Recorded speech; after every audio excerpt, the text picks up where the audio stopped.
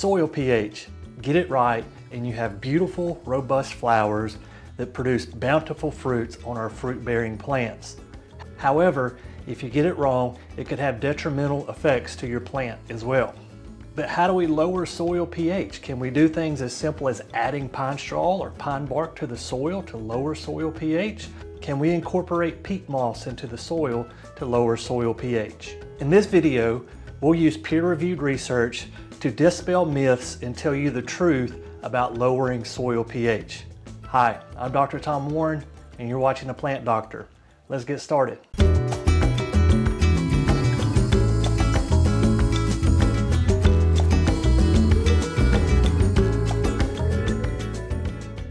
Before we talk about how to lower soil pH, we need to understand what pH is. All pH is is a measurement of hydrogen ions in solution. We measure this as a negative log. To my right here is a pH chart. The pH chart ranges from 1 all the way to 14, with 7 being neutral and anything below 7 all the way to 1 being an acid. Anything with a higher number than 7 is alkaline. So for example, if we look at a pH of 6 versus a pH of 7, a pH of 6 is 10 times more acidic. A pH of 5 is not 20 times more acidic because we're talking logarithmic. It is actually 100 times more acidic than a pH of 7. And a pH of 4 is going to be 1,000 times more acidic than a pH of 7. Anything with a pH higher than 7 we're measuring hydroxide ions in solution and all that is is an oxygen and a hydrogen bonded together. One thing you need to understand is that once you start lowering soil pH apart from what it naturally is, this is going to be a constant process. You're not going to do this once and always have a lower soil pH. For example, when it rains, water falls through carbon dioxide forming carbonic acid. It's been raining for eons and eons and soil pHs all over the earth vary in regions where it rains. So just because acid is being applied to the soil does not mean that it's always going to have a lower pH.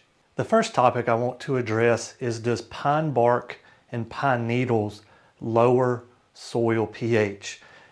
Yes and no. I was able to find several articles from extension services that does say that pine bark can lower soil pH. Pine bark naturally has a pH between 4 and 6 and so as these break down we're releasing hydrogen into the soil and it does temporarily lower soil pH. Pine needles on the other hand do not. I was able to find several resources that would suggest that while on the tree in green that pine needles are slightly acidic However, once they turn brown, they lose their acidity, their pH is more or less neutral around 7 and as they decompose they're not doing anything to the soil in terms of soil pH. And you may be thinking to yourself, well, I know where a lot of pine straw is and the pH is really low, it's acidic, but we need to remember that pine trees naturally like acidic soils.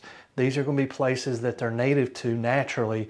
It's not the pine needles causing the soil to be acidic, it's the acidity of the soil that's attracting the pine trees to grow there in the first place. Does compost lower soil pH? Compost does not lower soil pH. As you can see here, I found several references from peer-reviewed extension that would suggest that although temporarily you may get a minor shift to, uh, to alkalinity or acidity with compost, it really just depends on the pH of the compost to begin with and it more or less acts like a buffer. So a buffer is something that resists pH. So as hydrogen ions are being released into solution of the soil, there's hydroxide ions that's bonding with, therefore buffering the effects of the hydrogen. The next ingredient to lowering soil pH that I want to look into is do coffee grounds lower soil pH? This is one I hear a lot. Oh, I put coffee grounds in my garden to lower pH. I was able to find several resources that would suggest this is not the case. For example, a peer-reviewed article from the University of Minnesota would suggest that adding coffee grounds to your soil can enhance soil structure as those decompose. However, it's going to have little to no effect on soil pH. Coffee grounds naturally are 6.5 to maybe 7 And depending on a couple of things, uh, the type of bean, how it was brewed, what type of water it was in. Um, but for the most part, we're talking about a narrow band of pH between six and a half towards seven, and that's just not low enough to lower soil pH. Something I've seen on social media sites, in Facebook groups, Reddit groups, etc., is that they use leaves to lower their soil pH. Now there's dozens of species of deciduous plants that drop their leaves and, and, and lay down on the soil, but I chose to look at the two most predominant tree groups in my area here in the southeastern United States, and those are the oaks and the maples. So we have more species of oaks and maples than any other deciduous tree. And for oaks and maples, there is no significant drop in pH when they're applied to your soil. So we've looked at several things that do not lower soil pH or have a marginal effect on soil pH. So how can we significantly lower soil pH? And one of the best things we can do is to add sulfur to the soil. And you may be thinking, well, Dr. Warren, we said earlier that pH is a measurement of hydrogen ions in solution. How is sulfur going to impact hydrogen ions? What happens is bacteria in the soil are going to combine the sulfur with water and oxygen to produce sulfuric acid. Hydrogen ions are released from the sulfuric acid, therefore lowering the soil pH. Now, this is not an instant reaction. This is a biological reaction. It's not a chemical reaction. The bacteria need time to make this happen. So don't think that you can go out to your garden, throw some sulfur down, and 24 hours later, you magically have a lower soil pH. That's just not how it works. So when should we apply our sulfur? I recommend putting out your sulfur during the colder months. You want to put it out in the fall or early winter because most microbes are going to be dormant during the fall and winter. However, that's going to give that sulfur time to mix in with the soil. And when those microbes wake up in the spring, we need temperatures really above 55 degrees for the microbes to start doing their thing. And once those soil temps hit 55 degrees, they start feeding on the sulfur. And as we progress through the spring, your soil pH will lower. Now there's several different products on the market that are sulfur and will lower your pH. And my recommendation for what you get is based on the application that you're using it for. For example, Espoma makes a great sulfur product. However, it's only 30% sulfur in the bag. The rest of it's just kind of fillers. And when you do the math on the bag for what it's costing you per pound to put out sulfur, it's going to be around $20 a pound. So for doing an entire yard, this can get very expensive. However, if you're just wanting to lower soil pH in a couple of containers, for example, you have blueberries in them and you just need a lower pH for the blueberries, this is a great option because you're not having to store sulfur in your garage or your storage building because it does have a smell and you don't want that just sitting around. So if you're doing large areas like your entire yard, I would encourage you to go to your local farm store like a co-op and you can buy it in 30 pound bags all the way up to like 50 pound bags depending on your co-op and what brand they carry and your cost of putting it out per pound is going to be one fifth to one tenth that $20 a pound. So it's a trade-off with which one you get. If you're putting out a lot, I would recommend buying it in bulk from a co-op.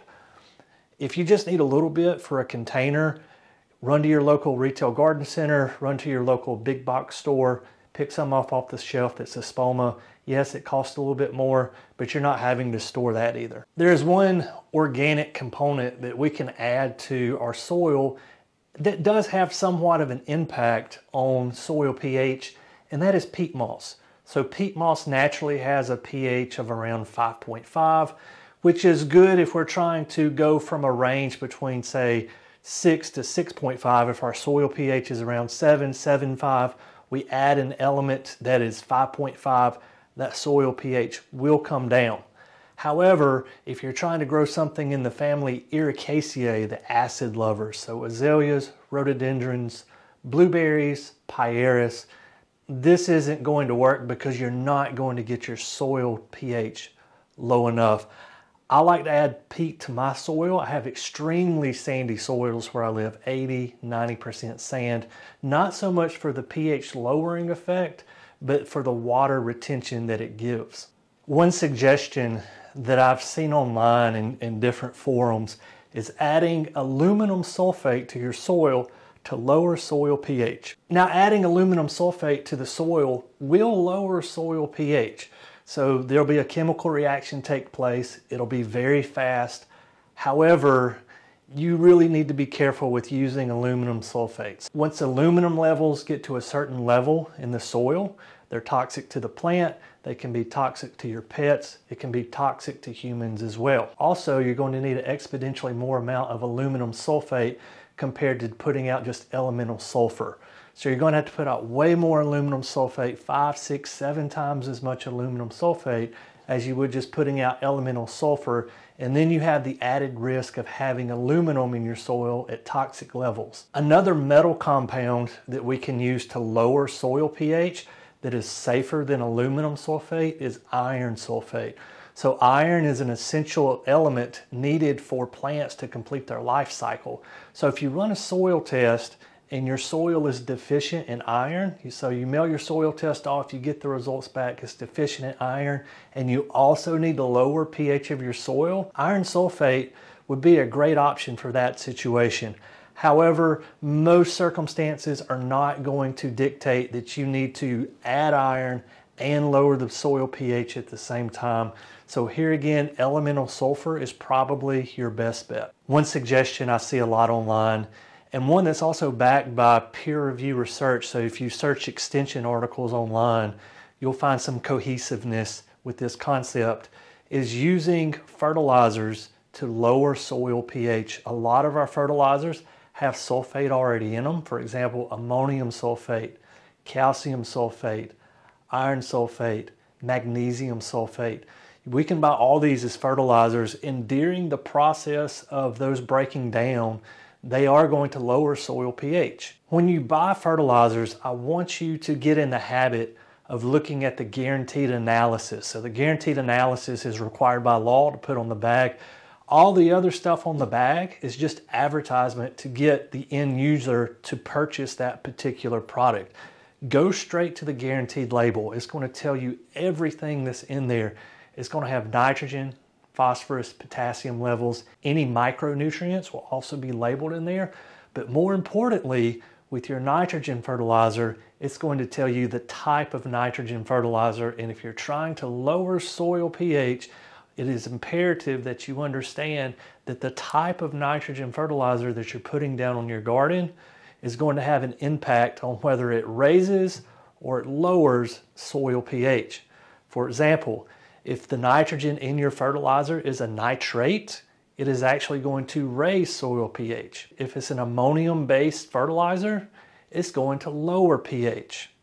If it's a urea-based fertilizer, Urea is probably the cheapest form of nitrogen that you can put out per thousand square feet. For example, it may cost you just a dollar per thousand to put out urea, where nitrates and ammonium may cost you two or three dollars per thousand to put out. Urea is going to break down into ammonium, and that is going to lower the pH. Once the ammonia breaks down, there'll be a release of hydrogen ion in solution, thus lowering your soil pH. So what is my recommendation for the ultimate way to lower your soil pH?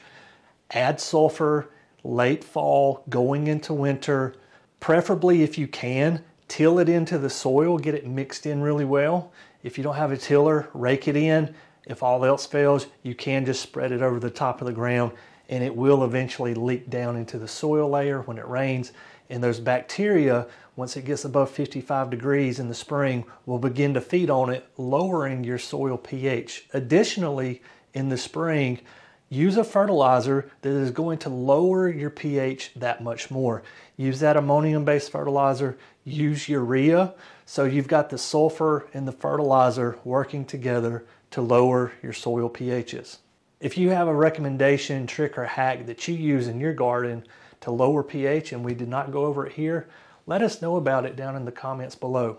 We're a community of learners here on the channel and I would love to learn something from you, the viewer. Guys, as always, thank you for watching The Plant Doctor and until next time, happy gardening.